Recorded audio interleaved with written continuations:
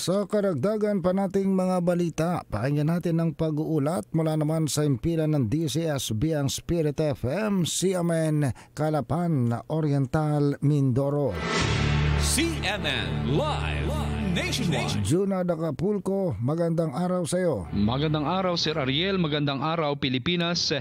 Sa pagtatapos ng Mangyan Summit 2023, sinilyohan na sa pamamagitan ng pagperma ng mga kinatawan ng iba't ibang ahensya ng pamahalaan, local government unit, non-government organizations at indigenous people organizations ang formal na pagpapahayag ng pangako ng suporta o pledge of commitment eh, upang pagtibayin ang kanilang pakikiisa at pagsasama gayon din ang matibay na suporta sa mga isinusulong na komprehensibong programa para sa kagalingan ng lahat ng mga katutubong mangyan sa lalawigan.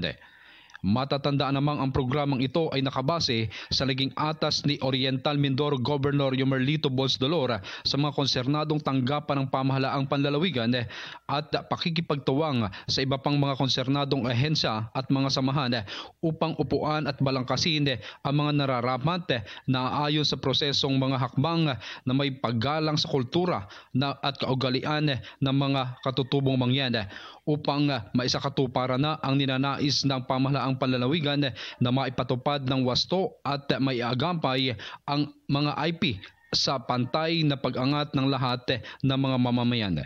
Samantala, commitment ng mga naturang ahensya na tutulungan nila ang mga IPs. Magiging pundasyon naman ng mga komprehensibong programang ipatutupad para sa IP ang resulta ng Mangyan Summit.